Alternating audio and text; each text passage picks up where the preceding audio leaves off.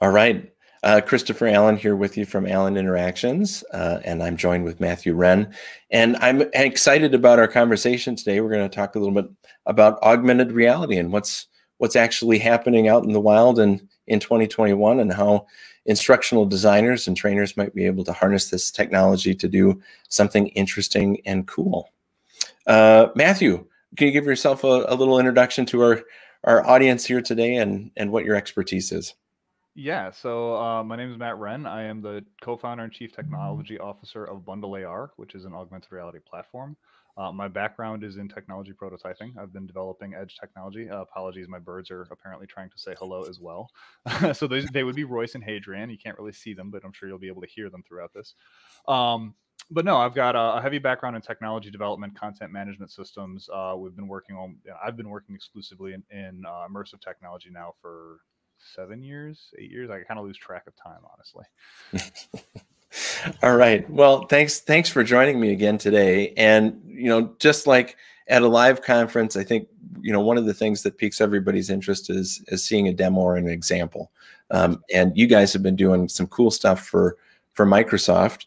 Um, do you mind sharing your screen and and showing us what kind of a, a cool and hip augmented reality experience might look like today? Yeah. Are you able to see the mobile device? I am. All right, cool. I'm gonna I'm gonna start from scratch. So a mobile device. Again, I'm not even gonna go into our application to start because it speaks to the use case a little bit. Uh, what I'm gonna do right now is I'm gonna go directly to the device's camera. Uh, so I'm pressing the camera button, and I'm gonna talk through what I'm doing because it just helps because you can't obviously see me pressing stuff. Uh, but what I've got on my computer here is I've got a QR code, and that QR code you know could be anywhere, but in this case it's just on the computer screen. You'll notice that that little Safari link up top showed up. Um, and I want to demonstrate this because this is uh, this is ultimately kind of the longest experience for how what it takes to get into an augmented reality experience. So if I didn't have the Bundle app on my device, which I do have, uh, I would go down here and I could press one of these buttons to be taken directly to the Play Store to download it. Um, since I do have it, I'm just going to press this orange button here, and it's going to give me the option to open it. Now I want to you know kind of back up and state this is in iOS using Safari. If you were using any other web browser, and you're using Android or even on iOS if you're using Chrome, you don't have to do that kind of iterant step of going to that web page and pressing the button. Everything just sort of happens automatically. If you don't have the app, it'll take you straight to the store presence for our app so that you can just download. You don't have to do any searching. If you do have the app, it'll take you right into the app and do what it just did right here, which is it automatically entered that code. So I can now press download bundle. And I want to kind of sp- speak to the fact that you just saw how long it took to download that augmented reality bundle. It just downloaded to the device in that couple of seconds and it opened it up. And now what I'm going to show you is the first thing we're looking at here is kind of the back of a box for an Xbox. And you'll see that that little white dot appears, which is the Xbox logo above it. If I press that dot, it's going to load a video. Now I've got this video does have audio, but I have the audio turned off on my device so I can keep talking. And the first thing I'm going to do here is I'm going to double tap on the video, which takes it full screen, meaning I no longer have to point my device at the box and it's going to keep playing. But if I pause it, I've got a couple options here. You, you, can see it's got standard video controls, play, pause. I can use the scrub bar to move it forward or backwards. And I've also got that little option there that I can download it to the device. That's one example. Let me get to a different one. And in this one here, what we're looking at is a different side of the box.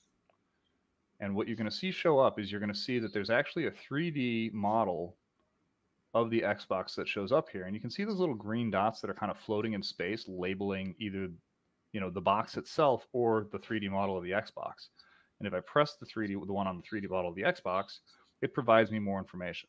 That's what we call a label. It's a neat little feature that allows you to label things in 3D space and add more information. And in this case, I can even include a link, that, that little button that says tech specs, which will take me to a web page for tech specs. The other thing I want to point out was there was that video, which is a product explosion that also appeared. It just played. We just, you know, I didn't point it out while we were talking about it.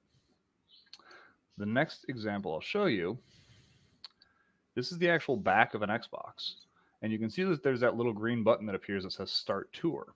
And what I want to point out here is, you know, this this is where we start talking about how can this be used for training. So up top, yeah, there, there was a product example and there was a way for me to like label the 3D model of something and all the different parts of it. But what I want to show now is like, okay, well, how would you do a procedure? If I wanted to teach somebody how to do a procedure, I press that start tour button and you can see that it's highlighted, you know, in this case, the power cord and it's given me more information about that power connector up top, which was something that Microsoft was very explicit about us including uh, because apparently, you know, plugging it in is something they end up getting a lot of support calls about. and as I cycle through and press that next button, it goes to a different set of connectors. Once I get to this third one here, that's the uh, the storage expansion.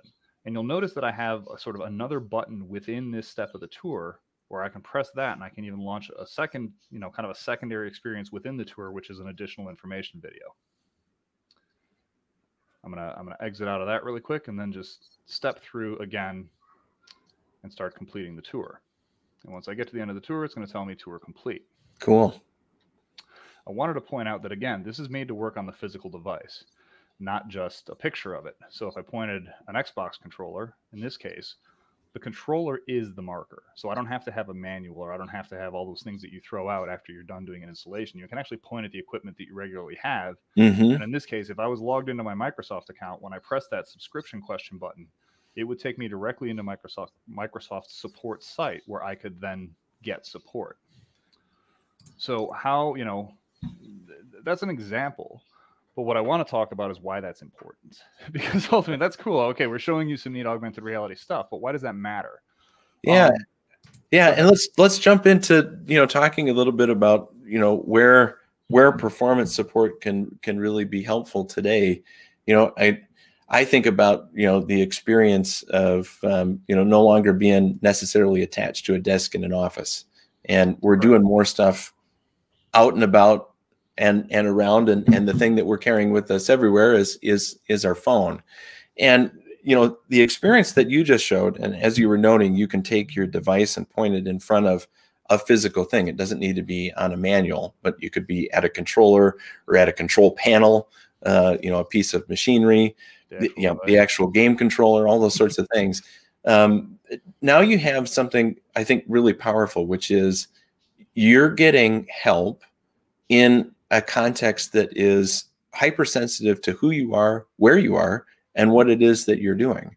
Um, you know, so you don't have to ask as much if you can have access to these materials. And if you have, if you've gone through some training, but you have a few questions about what you're supposed to do, or it's a procedure that you don't get a chance to do very often, uh, boy, I think I think that's where it really shines. Yeah, it's performance support. So you know, one of the examples that we we talk about with um, a customer that we had. So they're in the the natural gas industry, um, or I should say, you know, natural gas in general. And so, you know, they have procedures that they might have for like how to service a piece of equipment. That yeah, maybe they took training on this three years ago, but they haven't seen this particular piece of equipment since they did the training and you know especially if you're working you know we, we talk a lot about field support out in you know out in the sticks somewhere where you don't have any support near you. The other big one which is it's it's just as important is you're on the 58th floor of the hancock building in chicago and your truck with all of your equipment and all your manuals is parked five blocks away. Yeah. you know if you're dealing with it you're working with natural gas and all of a sudden something goes wrong you're not going to oh you know go through security and check out of the building and walk five blocks to get the manual. You're going to do what you can from memory Right. So if you have the information available to you as you need it, when you need it, and where you need it, it's it's a lot more powerful to make sure that you're doing something that again, if you're if you're working with electricity or natural gas or something that could potentially be dangerous, this is important stuff to have and make sure you get it right the first time. Yeah. And then the then the next thing that I'm so excited about with augmented reality in conjunction with performance support is there are natural ways for organizations to pick up on measurement. Uh, you know, and one of the things that it for an instructional designer who might be creating a you know a formal uh, curriculum uh, and training, you, often wonder you know what sort of things stuck and what didn't stick. Uh, and it would be great to have data in the field that says some of these tasks people always go back to performance support. And that might, in your mind, say, you know, maybe in training, informal training before we send people out in the field, it would be worth spending more time and attention on these particular tasks. And then kind of on the other side of on the performance part of performance support is how often do we actually do these tasks in the field? Um, you know, there there might not be really great measurement for the things that people are doing. If there was one place, I think, to aggregate that data for instructional designers and for the business to look at what's actually happening, I think I think that would be pretty powerful. And you guys have been been working on that, haven't you? Yes, and you know that's that's one of the one of the more powerful sort of features of augmented reality that kind of gets overlooked a lot is the fact that you're able to use this technology to measure how people interact with the physical world in a way that you really can't measure any other way. Um, I give an example. We did a project with St. Louis University Madrid where they send books out. They said this is the book to freshmen that have been admitted, but they're trying to decide if they're going to go there. And so, you know, St. Louis University Madrid, that's an international university. So most of the students, they don't get to visit campus before they try it. So they wanted to mm-hmm. augment the book to kind of bring the campus to them a little bit. That was their goal. What they didn't expect that they got out of it was the fact that we told them afterwards. So they did get a little bit of a, a little bit of a bump in their uh, admissions the next time they did it. But the other really cool thing that they got was we were able to tell them you had over 3,000 interactions with this book, even though you only sent about 200 of them out. Mm. on top of that, we were able to tell them page, you know, the page on student life got six times as much traffic as every other page in the book combined. So the next time you're going to do one of these books, you might want to expand that section because that's clearly what people are more interested in. Yeah. Um, when you start thinking about it in a training, you know, training perspective, is it goes to what you said before, which is again, what are people accessing the most? What do we need to train on more? What's the support that you know people are are really needing the most in the field? Um, I'm going to share my screen here uh, and I'll just really quickly, I'll walk you into our analytics just so I can show you um, what you can see when you're tracking the, the physical, you know, you're tracking interactions. So I'm going to go into our analytics page here. I'm going to pick up a very specific, one of our specific uh, augmented reality bundles.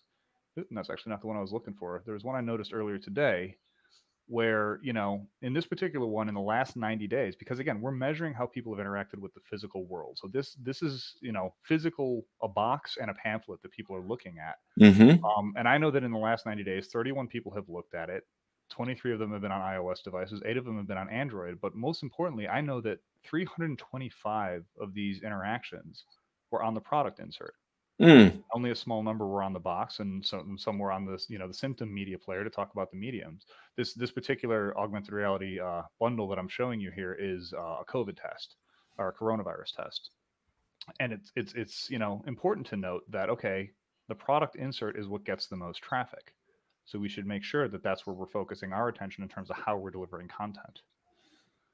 Very cool. I, lo- I love it. So you know the the experiences that that we looked at earlier for for Microsoft I think are appealing. I think there's some cool things that you guys have been doing where not only is it important to be able to capture and, and get access to that quickly on your phone, but you know one of the nice things that that I like and have experienced myself is the ability then to say I you know I'm done holding my camera at the box right I, I know where I am and now now I want to um, you know just view the video where it's comfortable for for me to watch or maybe save it and, and use it for later. Mm-hmm. you know an experience like that how how long and what sort of skill set would a person need in order to put together something like that that has that sort of level of polish? Um i mean i would um, i would argue that any instructional designer or anybody with a graphics background can do this. Um look put simply augmented reality development is hard it, you, you have to understand a lot of different sort of areas of technology. So you got to understand the content creation side, which is again sort of where cra- you know graphics designers, 3D modelers, instructional designers they know that part. That's where their expertise is. But then to get beyond that, kind of the traditional way to do AR development is you have to understand gaming engines, so like Unity or Unreal. Then on top of that, you have to understand the deployment stack of what you're building to. So you'll usually have to understand something along the lines of like mobile applications, so Xcode or Eclipse or um, Android Studio, or if you're developing for Microsoft, you know, HoloLens or glasses, you got to understand those pieces. Then you're going to have to understand the the store to get it published. So there, there's kind of a lot of sort of stacks of technology you have to run through to make this stuff work, unless you have a tool. And sorry if I'm, you know, I don't mean to be pitchy here, but you know, we created a web system to make that part easy and that's what we wanted to do is like how do we get it so that people who can they know the content they know the content creation how do they just can run. Basically, let them create and then press a button and go. Um, so, so we've we've really moved now. I think from the stage, what you're describing is, you know, it it probably took a bunch of skills and maybe several people to put together a, a bespoke experience, right? And and now we're kind of moving into the phase with augmented reality where maybe one person with with a rapid authoring tool can put together kind of the the same level of experience Yeah, I mean, I'll, I'll share my screen again really quickly and just sort of show you the type of interface that it would take. And I can't I can't share the creation of that Microsoft experience, but I can share the creation of a similar one.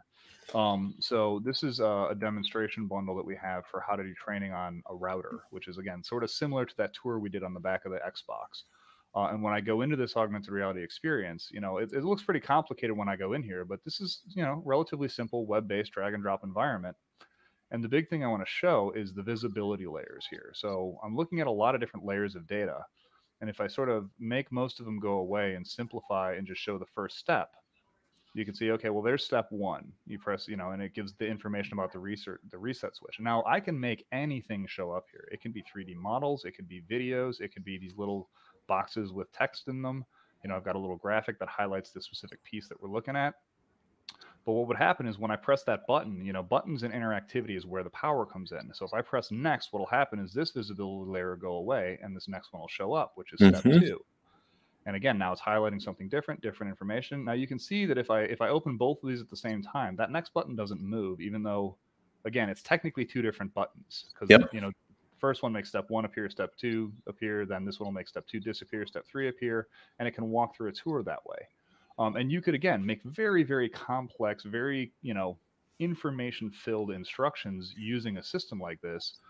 But in terms of creating it, actually creating it, this is just, just a drag and drop interface. Like here's some assets. This is a three, you know, this is a little symbol for a 3D bottle, 3D model. That's the symbol for a button. Yep. Um, you know, this next button is a button. This is a, a, a graphic with a 3D model in it. You know, and I can literally just grab these and drag them around the space if I wanted to. So if I go here and grab this asset, you know, for me to move it around a space is just drag it.